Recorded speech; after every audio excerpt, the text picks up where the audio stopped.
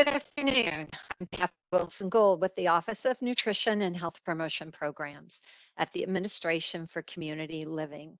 I'd like to welcome you to our second Thursday at 3 webinar series. Today, the webinar is one of four weekly webinars during the month of March to celebrate our senior nutrition program. The title of today's webinar is Trifecta Part 1, Food Insecurity and Malnutrition. Just a few housekeeping issues. Um, I want to um, let you know that today's webinar is being recorded and it will be available on the ACL website at www.acl.gov backslash senior nutrition. And this is where the entire month's activities and support materials are housed. Also, captioning or cart services are av available for this webinar. The link has been placed in the, the um, chat box.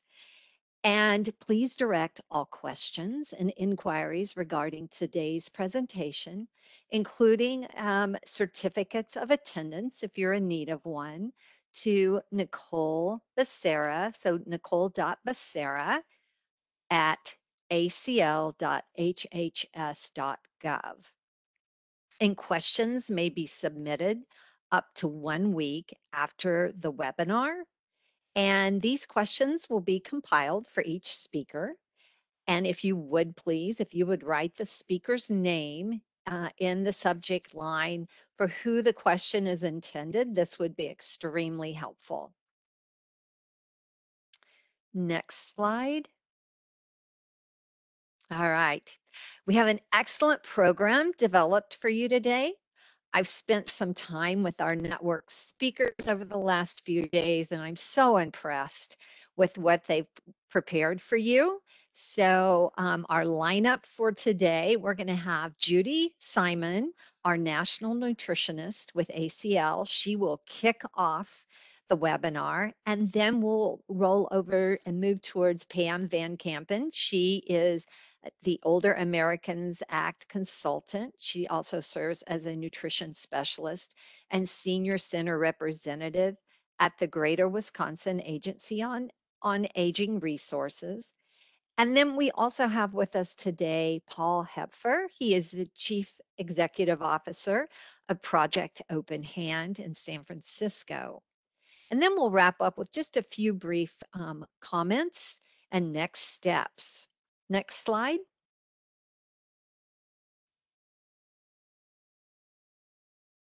So our learning objectives today, we're going to distinguish between nutrition and food insecurity.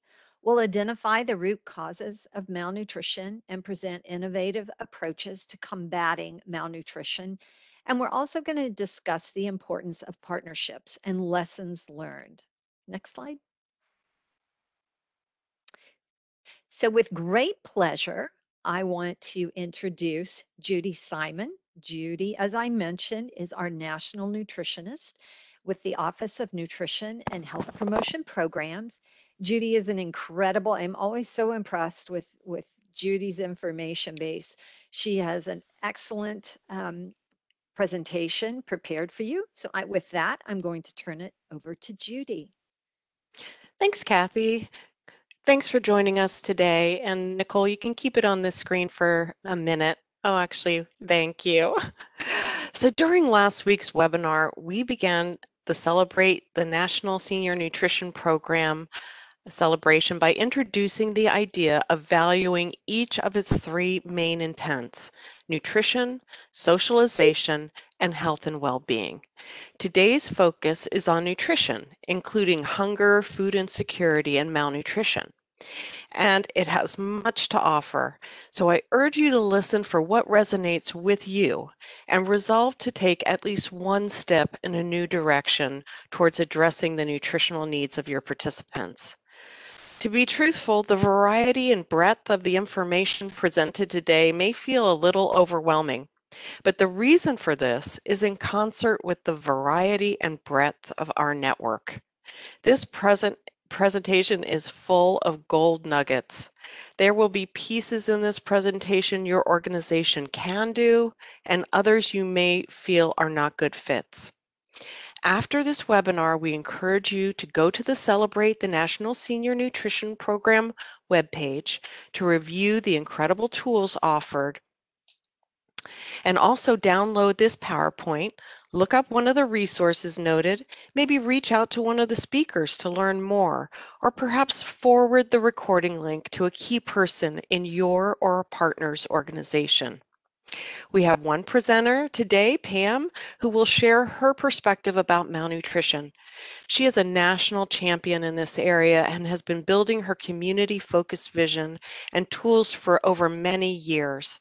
Another speaker, Paul, will be discussing food as medicine services, which typically involves integrating with healthcare as well as community based programming.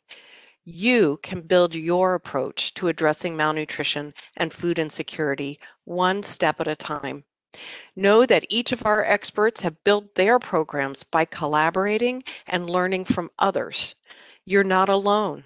We have an entire national network we are celebrating this month, offering the Senior Nutrition Program. The flavors may vary, but keep in mind there are many others in your same situation who you can learn from and who can offer you support and guidance. Next slide. Malnutrition was newly added to the 2020 reauthorization of the Older Americans Act. Screening for malnutrition is included as part of nutrition screening within broader routine health screenings that occur. And the reauthorization also added reducing malnutrition to the purpose of the nutrition services programs. Next slide. Malnutrition is different than food insecurity Malnutrition is a, a clinical condition that requires a dietitian or a physician to diagnose. This slide shows the six components for diagnosing malnutrition, and two are needed for someone to be identified or diagnosed as having malnutrition. Food insecurity is when someone is without reliable access to enough affordable, culturally appropriate, and nutritious food. Thankfully, you can screen for both malnutrition and food insecurity. Screening is a tool that uses just a few simple questions to see if someone is at risk. It's not a diagnosis, it simply indicates someone has a risk which needs further attention. There are falls risk screenings, depression screens, and malnutrition and food insecurity screens, among many others. The good news is that anyone provided basic training can do screening. The key is to ensure they know the appropriate supports and referrals to make in case someone screens positive so we can address any identified risk situation appropriately. Next slide. So why are food insecurity and malnutrition part of our responsibility? Let me share some reasons. First, the Older Americans Act tells us that Aging Network's mission is to maximize the independence, well being, and health of older adults. You know your, your clients well, you provide person centered approaches, and because of that, you are an important part of identifying and addressing malnutrition and food insecurity. Malnutrition is more common than we realize and causes significant risk for illness, falls, and poor quality of life. We'll be sharing more about that in detail later. It often goes undetected, but there are signs that can be identified in the community, which means that you can help prevent these negative outcomes. The Aging Network provides services that address the social determinants of health, such as transportation, food access, and physical activity to build strength and to help manage chronic conditions. These issues contribute to malnutrition and food insecurity risk. Combining healthcare in partnership with community-based organizations can comprehensively help older adults Partnerships to manage transition of care from the hospital into the community are vitally important. Next slide. The next few slides share pieces of a tool from one of ACL's Innovation and Nutrition grantees, the Maryland Department of Aging. Their toolkit for area agencies on aging to address malnutrition is a document any organization can use and customize to meet their needs. It will be posted on the Celebrate the National Senior Nutrition Program website in the near future, and good news, it'll be posted as a Word document. This table lays out a simplified plan of establishing validated screening tools that are used during client intake. As I said, screening can be accomplished once someone is given a brief training. So you can choose a screening tool that fits your clients, your organization, or partner organizations. Sometimes it's helpful to use the same tool as your partner, let's say a hospital, so results can be compared. Other times you can choose your own and it's it's fine with your partners. Then comes your area of expertise, identifying programs and services to address a person's needs. And this can be done in addition to referring someone to their physician or dietitian. And the last phase is monitoring progress and ensuring the quality of the service delivery. Next slide. This slide shows the number and variety of referral services and programs an older adult may be referred to. In this table, MAP is the state's name for the AD, their ADRCs. SC is Senior Care, which is a state program that offers a number of supports to frail elders. HP is Health Promotion Programs, and SHIP is the State Health Information and Assistance Program. As you can see, every program across the aging network is part of the solution. The answer to malnutrition and food insecurity is more than a referral to the meals program and a dietitian, although those two steps are often very helpful. Every staff member in your organization can play a role. Next slide. This final table demonstrates how documentation of your agency of how your agency addresses the social determinants of health can assist with billing and payment issues. And these models for malnutrition can be used for other conditions such as diabetes or high blood pressure because all of those conditions are affected by the social determinants of health. So this model can work for any condition your organization may screen for. You don't have to duplicate processes based on the type of condition you want to address. Now I'll turn the presentation over to Kathy so she can introduce our upcoming speakers. Thanks, Judy. Speaker is Pam Van Kampen. Pam is a registered dietitian nutritionist. As I mentioned, she is the Older Americans Act consultant nutrition specialist, and senior center representative at the Greater Wisconsin Agency on Aging. And with that, I'm going to turn it over to Pam. Thank you, Kathy, and thank you, Judy, for setting the table. We have a lot to cover, and I'm going to kind of present a brief menu of services, if you will. So next slide. So the older Americans I'm sorry, older adult malnutrition is a critical health and public safety issue, according to Defeat Malnutrition Today. And if you're not aware of Defeat Malnutrition Today, I would encourage you to join. It's a coalition of peers of all sizes, and they have their finger on the pulse of everything malnutrition. They'll provide you with all the updates monthly um, on advocacy, resources. So please consider joining the movement and join Defeat Malnutrition today. Next slide, please. Um, just briefly, malnutrition has been defined as an imbalance, including undernutrition and overnutrition. And we're going to talk about that a little bit more, but it is a leading cause of morbidity and mortality among older adults. And doesn't discriminate. It can affect every one of us. And I bet we all have a, a calling, if you will. That's why we're on the call today, because malnutrition resonates with us in some degree. Next slide. So no one wants to become or identified as malnutrition, as malnourished. Um, I like to use the analogy as I thought that incontinence was the last taboo, but I believe that malnutrition is the last taboo in healthcare that we need to overcome. In 1974, um, C. Butterworth talked about malnutrition being a skeleton in the closet. And sadly, 40 years later, it is still a significant problem in um, our communities. And the statistics are shocking.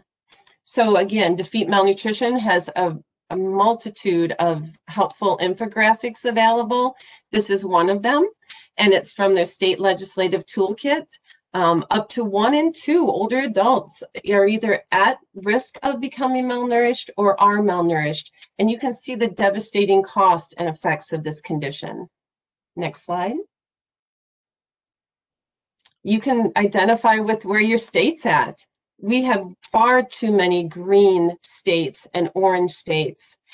Um, so let's try to change the color of this map uh, it, the cost, not econ only economically, but emotionally on our country is, is too great. And we can make a difference, each of us. Next slide. So what's your why? Um, malnutrition has affected my life personally. It's a deep personal issue to me. Um, so do you have your story? How has malnutrition affected you, your clients, or your family? And if you think, oh, I don't think malnutrition has affected me, well, you may change your answer at the end of this presentation. And if you do have a story to tell, please um, record it on the Defeat Malnutrition Today website. They use those stories. Stories are powerful. Stories are advocacy.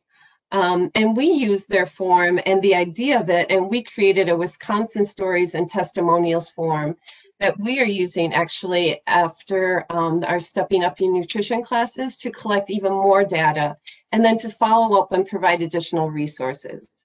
Next slide. So what does malnutrition look like? It can look like any of these pictures. We can be obese and malnourished. We can be undernourished. We can be normal weight and be malnourished. Um, the stats are one in three older adults is obese or overweight. Next slide. Just briefly want to mention this article in Pyramid. Some excellent work is being done in um, Europe and the seven countries are working together and they put together this, I think, brilliant model that shows the connectedness of all the different dynamics that contribute to someone becoming malnourished.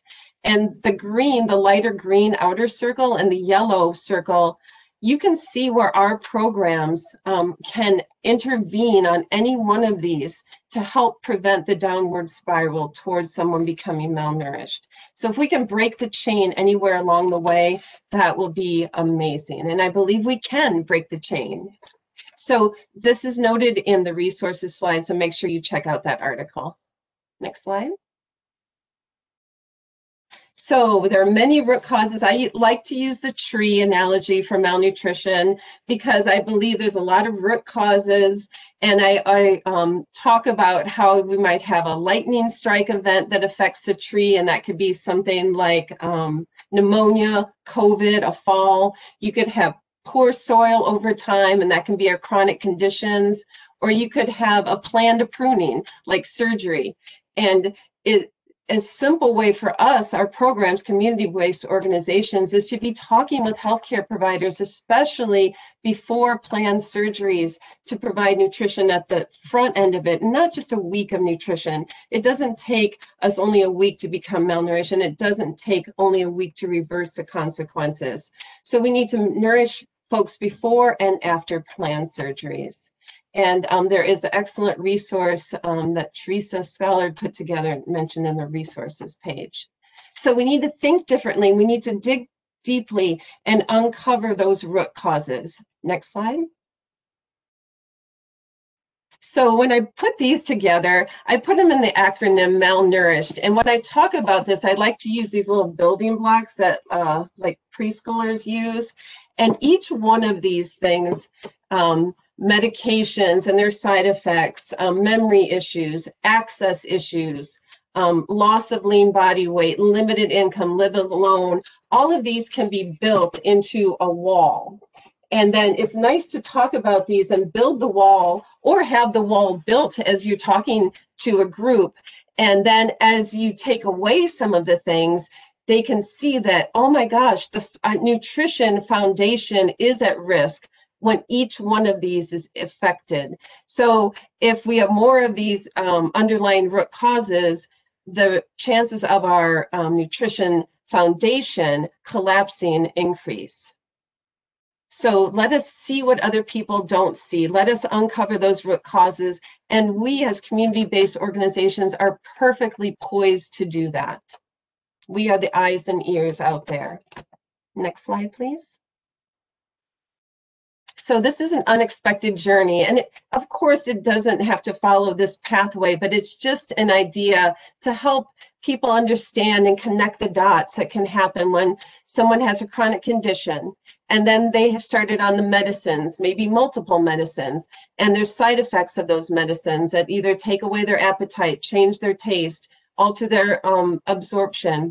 And that can decrease, lead to decreased appetite or decreased intake, which leads to unintentional weight loss, loss of lean muscle, and decreased strength and now they're not able to open their jars or containers or prepare food or stand long enough to cook or even stand long enough in lines at stores to um, purchase their food. So then maybe they'll tend to go to a smaller convenience store to buy their food and possibly some of the foods there are less nutritious and so their nutrient intake declines. And then when that happens, they have a decreased immunity and increased inflammation that occurs that can lead to an acute um, health episode and the vicious cycle can start again. And sadly, that happened to, to someone near and dear to my heart who just passed away in December because of too many of those vicious cycles happening over and over again. So we must figure out a way to find messaging that resonates with older adults. We can't just tell them you need to eat because you need to have the nutrition. Maybe we need to appeal to their vanity. Maybe we need to say you need to eat so you can have good hair. Um, whatever we need to do to reframe this conversation, we need to get creative and do it. Next slide, please. So we do have a document that I'm happy to share with you. It just summarizes all those root causes. It pulls out the research. It gives you um, resources that you can use. So maybe look when you look at your community needs health assessment or when you have a conversation with your healthcare providers to see what their points of pain are and you pull out some of those root causes they want to address you can go to this document and then get more um, uh, ammunition, if you will, to help you make your case um, to them and on how you can intervene and provide services that help them address the the um, conditions that they are trying to overcome as well. So we're happy to share this document with you. Next slide, please. We also, since we're all required to continue using the determine checklist and ask the 10 questions, what we did is said, okay, those determined questions are a nice um, window. They crack the window. They're a nice conversation starter. But instead of just only asking the 10 questions, recording the information into our systems and calling it good, we have an obligation, I believe, to dig deeper. So when you ask the question and they say yes, well, here's some follow-up questions you can ask. And then here is a pathway to some referrals and intervention options that can help us lead to that person-centered plan of care, which I hope we are all uh, striving to achieve. So we are just finalizing this enhanced determined checklist and we are um, lucky enough to be partnering with Dane County Area Agency on Aging and some other um, of our Wisconsin partners uh, to, to pilot this project for a year. Um, and we're hoping to have some good outcomes from that. And, uh, and to go along with that, we'll be creating training tools as well. So again, if you're interested in this tool, happy to share it with you. Next slide, please. Um, so what does the word nourish mean to you? Um, I, I'm a big fan of this word nourish. Nourish to me means all the things that we do in the Aging Network we have the perfect trifecta as we've been talking about nutrition, socialization, and well-being. We are so much more than a meal. So let's take the conversation about malnutrition and reframing it into how can we best nourish um, our participants, our older adults, and our caregivers. Next slide, please. So look at what some of the low-hanging fruit can be. Some of the low-hanging fruit could be people aren't eating because they can't um, pick up a cup, that they can't hold the equipment, they can't open their tray. Um, so look at some of the low hanging fruit. Look at getting rides to stores. Think about what you can do now. I know that we're all so overwhelmed just coming off of this year of of COVID and tremendous increase in the number of meals that you're served, and you're thinking, I can't do one more thing. And I just ask you to think about what could be that small one more thing that you could do. Next slide, please. Use a validated screening tool. NCOA has a, a, tremendous list that they've compiled of validated screening tools. And I must make you aware of one I just learned about yesterday from the Cana from Canada, from the Canadian Malnutrition Task Force. They have um, it used to be called Screen 2, but now they've changed the name to Screen 14, Screen 8, and Screen 3. They're all designed to be community dwelling screening tools. And when in the follow-up email that we'll send or the follow-up document that we'll send, we'll provide the links to, to those sites. But they do have one that's called nutritionscreen.ca backslash e-screen nutritionscreen.ca backslash escreen. That is designed to be a self-administered online tool that older adults and their caregivers um, could go through and, and answer the questions. And it gives you this beautiful um, uh, printout of here's what you're doing well in your diet, here's some opportunities for improvement, and then it takes you right to resources that can help educate you further. You can email that document to yourself the, the, after you do the screen. You can share it with your healthcare provider. So I was so excited about that and just wanted to thank Dr. Keller and all the Canadian dietitians for their excellent work there as well as all the excellent work that is being done in our country by the Academy and by um, Aspen and all um, Meals on Wheels America, NANASP, everybody. So thank you, thank you, thank you all. Next slide, please. Okay, Malnutrition Awareness Week is something that Aspen does every year. And this year's is October 4th through the 8th. And I would encourage you to start planning for it now and check out their website. This is one of their documents that they used. I don't know if it was last year or the year before, but we use this document in our welcome packets that we provide to all of our new um, people who come on board for the Older Americans Act Nutrition Program. It, it's a beautiful, powerful, simple tool that helps people connect the dots. So please check out Malnutrition Awareness Week. Next slide. Stepping Up Your Nutrition, again, from Maryland Department of Aging and the Maintaining Active um, Citizens Area Agency. It's a one-time, two and a half hour interactive class that talks about um, how nutrition affects falls risk. It focuses on muscle strength. It really hits on nutrition and hydration and the critical role that, that those two nutrients play, as well as strength training. And if you're interested, please sign up um, or go online to learn more at, at steppingupnutrition.com. Um, it is a great way to introduce people to evidence-based classes because it follows the evidence-based format, um, but it's a one-time class. So you could be a great feeder program or follow up to any of the evidence-based classes or can be just used to stand alone. It doesn't have to go along with the evidence-based class. Next slide, please. We also have a nutrition risk Jeopardy game that we came up with. And again, happy to share this with you. It's just a fun way to kind of provide information and open people's eyes on, wow, these are the malnutrition um, facts. And uh, so just wanted to mention that. Next slide, please. Uh, the Eat Well, Age Well, Eat Well, Care Well. These are dedicated to my mom, my mother-in-law, and my father-in-law, and my father. Um, my dad was an and was an intensive caregiver for my mom, and after my mom passed away, I created these tools in in memory and honor of her.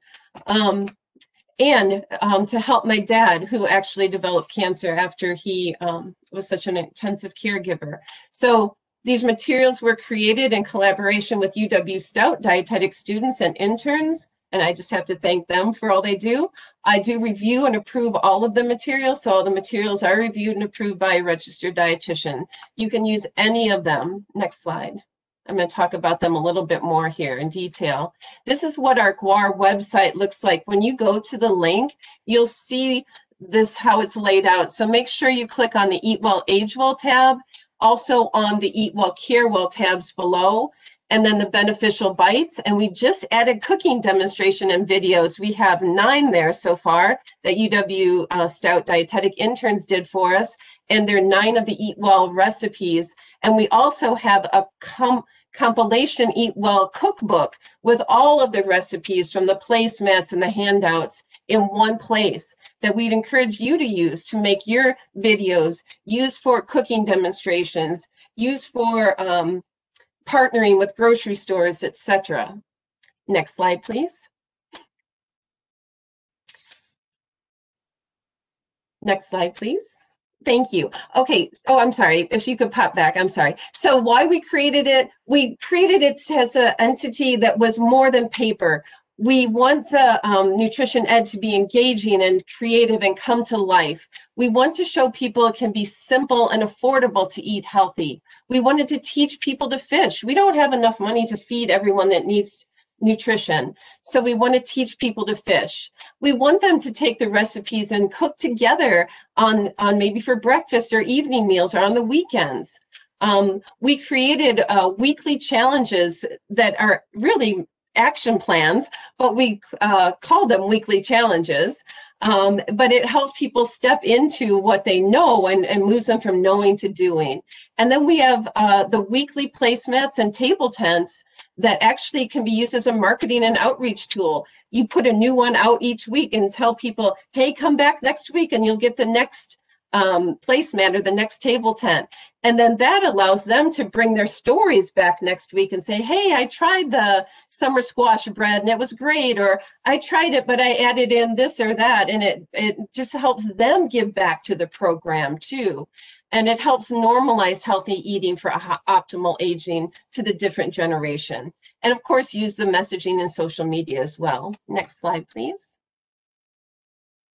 Um, the topics, these are just the 2021 topics. If you go on our website, you'll see multiple years listed. You'll see they're all health and wellness topics. Next slide, please. And this is just an example of what they look like. The Eat Well, Care Well document is a one document front to back that has wellness tips for the caregiver, weekly challenges for the caregiver to care for themselves, and recipes that they can use that are simple, easy, and nutritious and can be used for support groups, cafes, memory cafes, whatever. Next slide, please. And then the Eat Well, Age Well is a monthly handout. And then next slide, please. Um, and on the back of that handout, which I wouldn't run them front to back, I would do this separate, is the instructions for your site managers so they know the role that they have to play. It says, give out this placemat, encourage um, people to talk about this, etc. So that's all on the back of the page. Next slide, please. And we have a tracking calendar. Again, you can use this to as a as a an incentive. Like if you complete your weekly challenge, you'll be entered for a drawing for a prize. Or if nothing else, like I said, it helps them with their action plans. It gives them weekly challenges to accomplish that can be specific and measurable. Next slide, please. And then the table tents are designed to be printed on legal size paper. You can print them on um, letter size paper as well, but then they're designed to be folded into a triangle and then just taped so that you can set them on tables and you don't need any special equipment. And there's one for each week of the month. Next slide.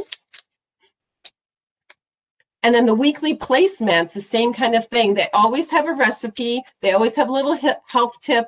I think what you think about is what you think about. So we think about all the messaging out there, how to properly nourish our pets, how to properly nourish our plants. Well, this is messaging so we can properly nourish ourselves. Um, next slide. Just another example. Sometimes we include quotes at the bottom so that we can nourish our emotional souls as well. Next slide.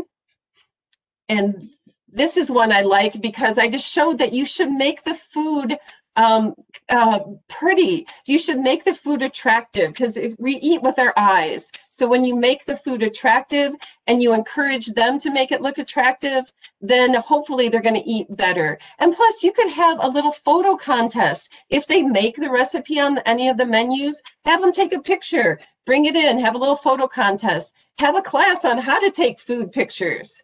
Um, just make it really interactive and come to life. Next slide, please. Oh, yes. And then cooking classes, cooking demos. Just I had to show you a little stuff to it's three in the afternoon, you know, get you hungry for the evening meal. Um, but bring in all your partners, ask them to do the cooking demonstrations. Make nutritious food healthy and that people are excited about. Next slide, please. And we just added a monthly bingo cards for the Eat Well, Age Well. So this has been a great thing that Heidi Russell and Shawano County created for us. And um, Naomi Mua, one of our interns, created. So we have 10 bingo cards for each month. And it's great because as the drivers give out their little um, chip of the day, they say, hey, what about that vitamin A you just read? So it gets everyone in the game. Next slide, please. And I must do a shout out to Barron County and their beneficial bites. Their program is seven, eight years. They focus on one food a month. So you could go through and plan out your yearly calendar based on a food, and they give you all of this material ready to use. So please check out their excellent materials on our website. And next slide, please. So malnutrition has many faces, many stories. I challenge us to see the whole person, look for those root causes, their unspoken needs and the barriers, listen to what people say, ask probing questions. What do you eat? Why do you eat? Who do you eat with? Um, when do you eat? Reframe the conversation to think about nourishment and nourishing people because that is what we do. We are so much more than a meal. And malnutrition is not just about food. We must screen, we must assess, educate, and intervene, and step into our roles. Next slide. Resource page that you'll get, and the final slide of my hand, of my portion before I hand it back um, is let's not imagine a country without a malnutrition. Let's think bigger, work collaboratively to ensure all seniors are nourished and have a planned journey toward health. Thank you. Thank you, Pam. Thank very, very creative and informative presentation. Next slide. Our next speaker, Paul Hepfer. Paul is the Chief Executive Officer at Project Open Hand. Paul's going to share with us today um, what they're doing with medically tailored and also the importance of partnerships and lessons learned. With that, Paul, I'm going to turn it over to you.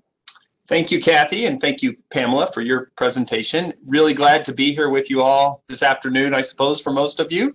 Um, and, and I really appreciate you sitting in on a yet another virtual presentation. I know we've all had so many of these in this past 11 and a half months.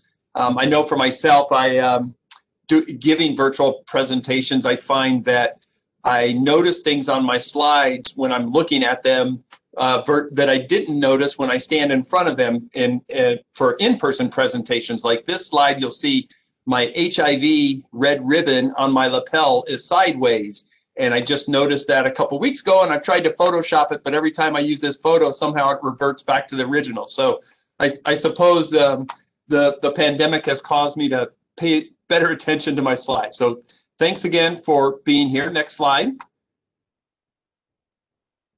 Uh, for my presentation, I'll, I'll, I'll, share with you a little bit about uh, the Food is Medicine Coalition of California and the National Food is Medicine Coalition.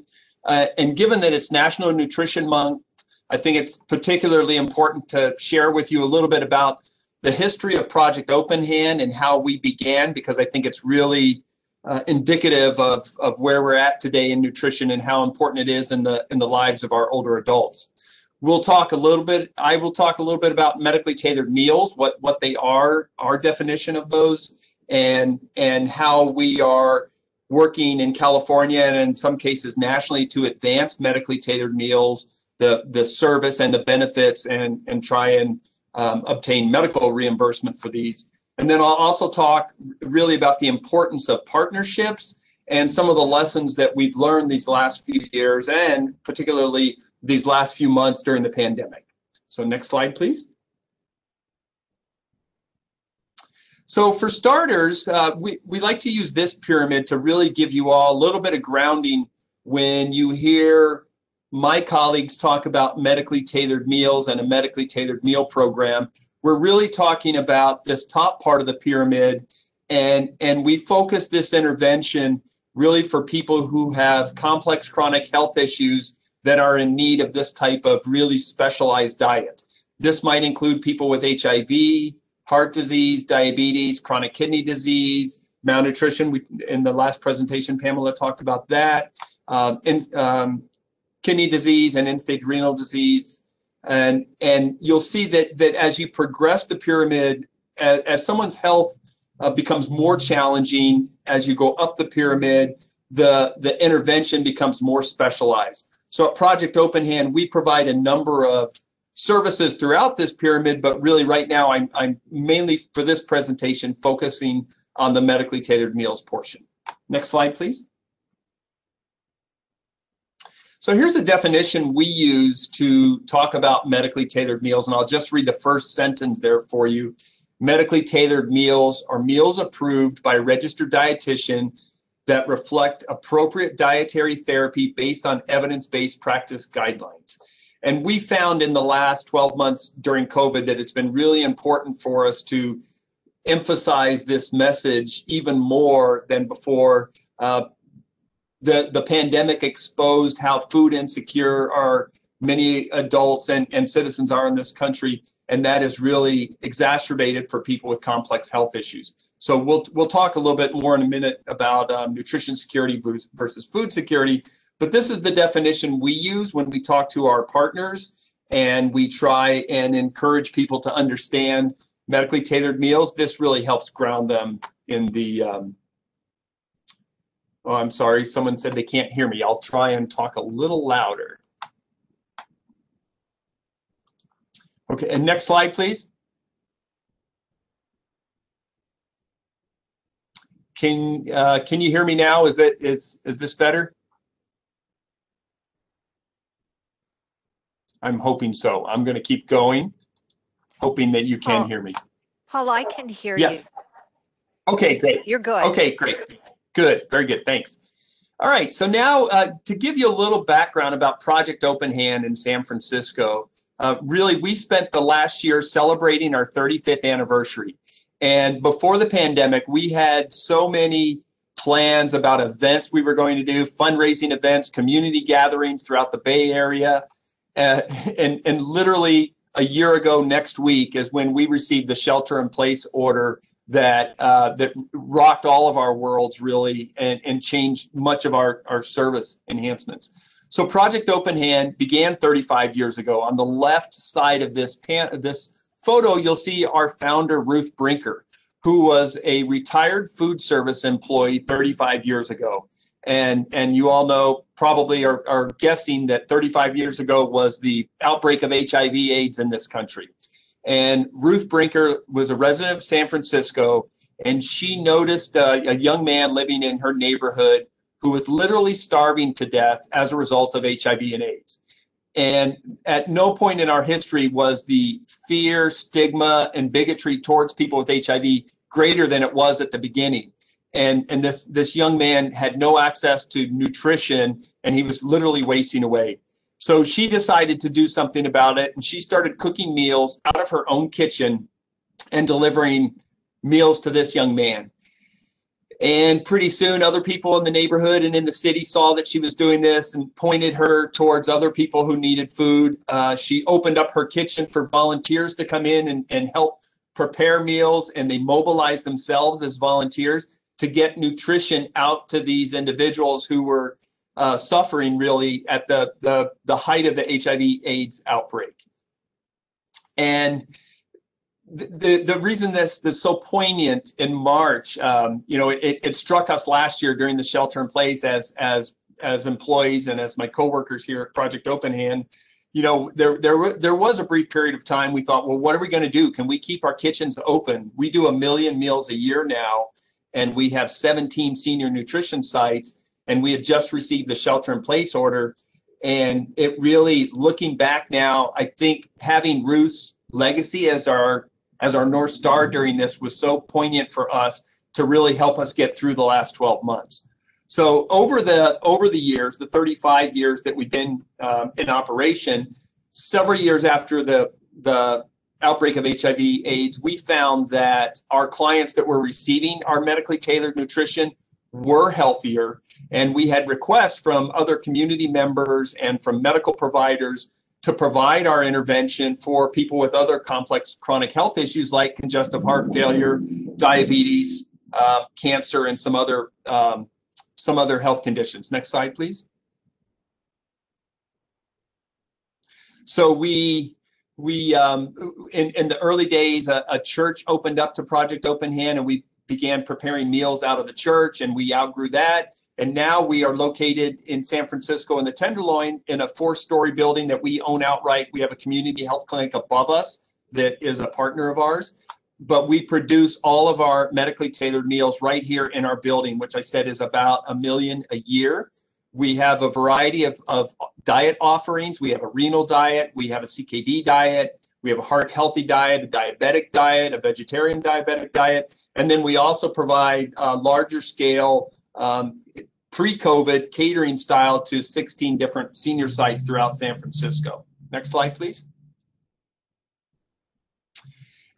And there are many organizations that had a similar beginning as Project Open Hand. We have members of the, the National Food as Medicine Coalition, which you'll hear about all over the country in, in Washington, D.C., uh, Philadelphia, Boston, um, um, uh, Los Angeles, our partners here in California, who had a similar beginning in the HIV space and transitioned into providing medically tailored meals to people with other uh, other other health conditions. In California, several years ago, we came together with our partners and formed the California Food as Medicine Coalition because we really saw the value in us taking this message and this model out together to try and secure uh, healthcare dollars and, and reimbursement for, for this intervention. So right now in California, there are six members of our coalition. As you see here, we reach about 48% of the state. And together we have over 150 year combined um, service experience, really focusing on people with multiple chronic health conditions. Next slide, please. And over and over again, our partners and, and uh, along with us, we really like to emphasize the concept of nutrition security and not just food security. And this was reinforced last March when uh, infusion of federal dollars, uh, part of COVID relief, uh, was coming out to states and there was a recognition of people are sheltering in place now they need more food or they need food because they can't get out to get it because they're trying to maintain their safety well we at, at the state our coalition at the state level talked about how important it is to get not just for the food security but we have a lot of people with complex chronic health issues that don't just need food they need the right type of food for their particular health conditions. And we found this to be really a challenge more and more over the years where you know we talked a little earlier in the last two presentations about uh, food security screens. And you know it's great to have a screen that can help people in the community identify food insecurity. But we really think that we need to take that further and we need to be able to screen for nutrition security. We do have clients that come into our facility and we have to use a you know a, a, shortened version of the food security screen. And we have people that are dealing with heart disease hiv and maybe diabetes. And because they they had access to some food pantry or some sort of community food that's being available on the street they might screen as food secure and we know they're not and we know they're certainly not nutritionally secure so this is an area that we're particularly keen on advancing this concept and really working with communities to see how we can better focus on nutrition security. Next slide, please. So here's the here's the how the state of California looks, uh, and and some of our partners that that are part of the coalition, all the way down to in, in the south and San Diego, and all the way up to Marin County, Sonoma, Napa, Santa Clara County, part of um, part of Silicon Valley.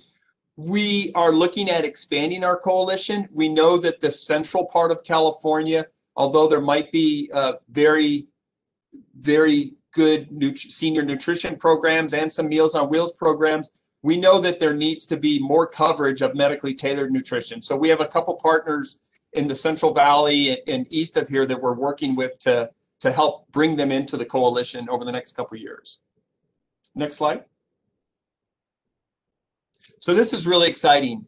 Part of what, when we talk about the importance of coalition, when we came together as the California Food is Medicine Coalition, we get we we went out and we talked to our local assembly members and some state senators and talked about how important it was to to really advance the science of medically tailored meals and nutrition. We had some smaller studies that we were a part of, peer-reviewed studies, and that, that some of our national FIMC partners were part of.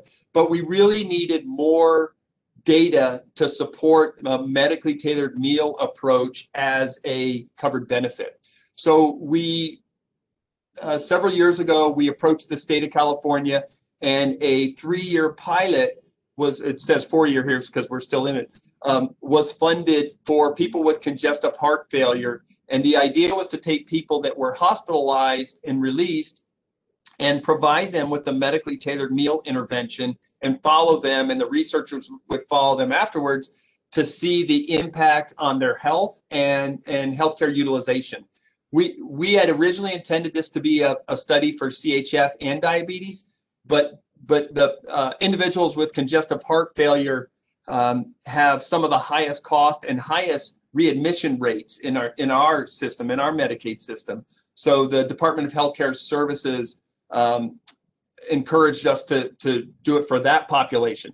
So that that study is winding down in the next few months. We can't talk about the results yet, or even what we're seeing, but we're optimistic uh, of what we will find and when the when the study is released, we'll we'll be able to to release that and, and share it with everyone as part of this. And and already, even while this study is underway, we've had a number of health plans come to the coalition and say, you know, we don't need to wait for this large 1,000 person. We've seen enough of the science already. We know a medically tailored meal program works. We we understand and appreciate the difference between just providing a healthy meal and pairing it with the registered dietitian nutrition counseling.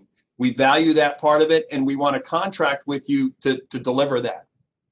And so we, we've had some success with managed care plans, um, the, the larger county managed care plans, some private health insurance companies, and, and we have a number of small pilots under, underway, and we have a number of health plans and health providers that are they're they, they don't need a pilot. They know that this is a covered benefit that they want to make available to their members. And so we're, we're in the process of contracting with them.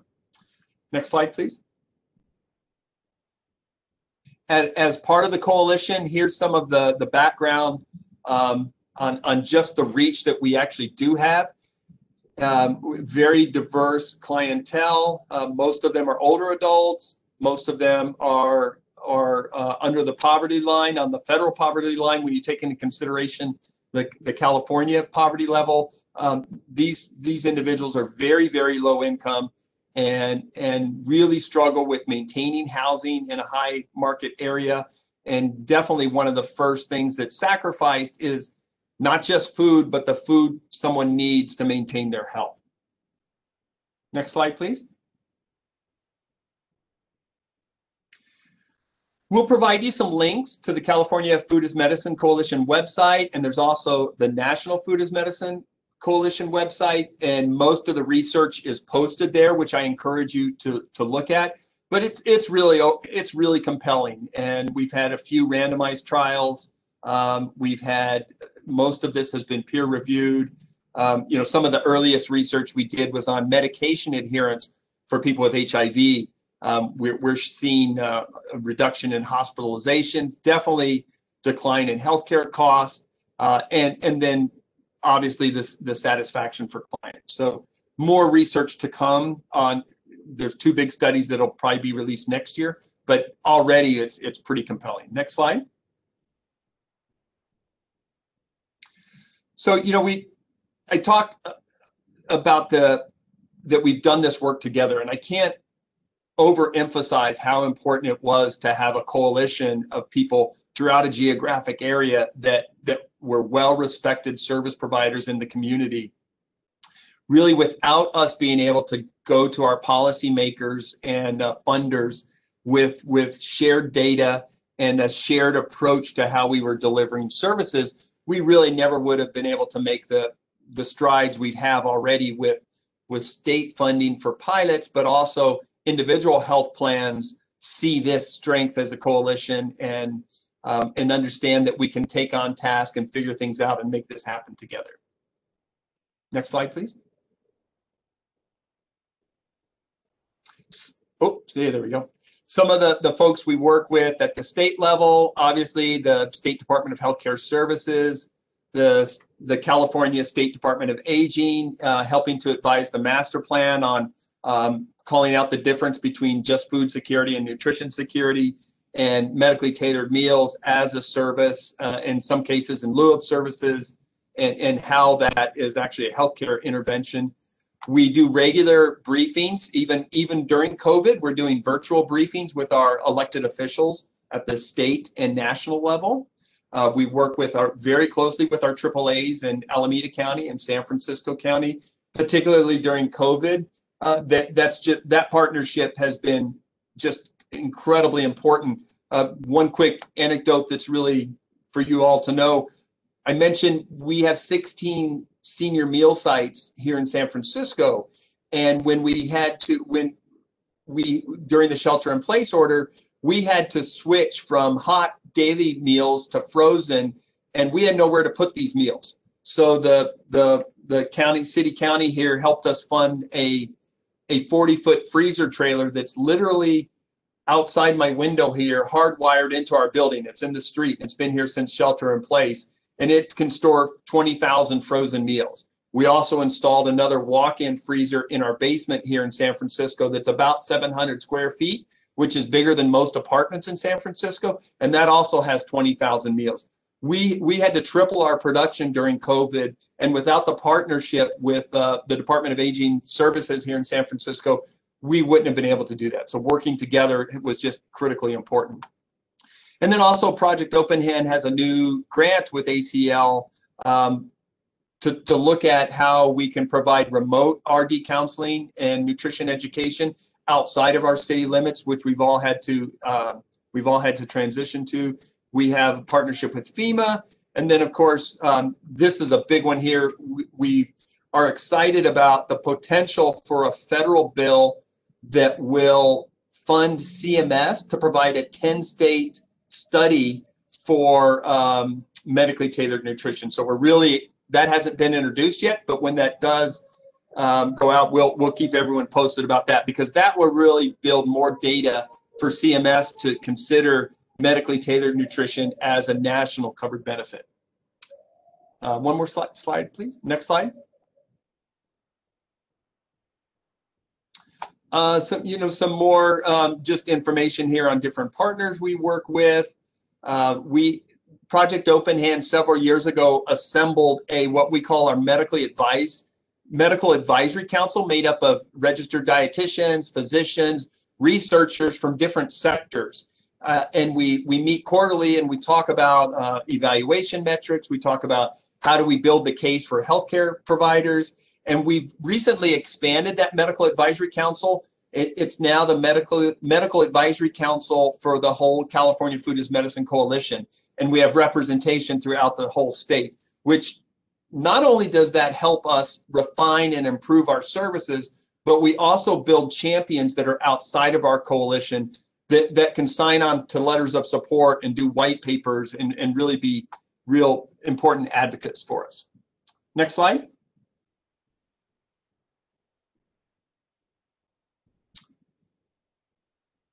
There we go.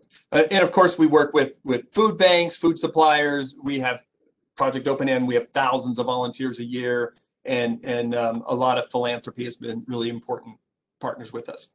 Uh, last slide, please.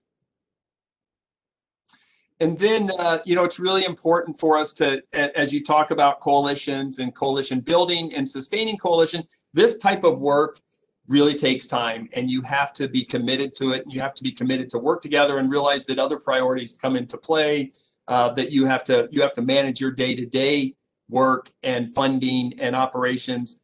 But it's, but if you, if you neglect the coalition and your partnerships, you, you really lose ground. So we're, we, we believe in that nationally and on a state level and even locally here working with our other food providers is, is just critically, critically important.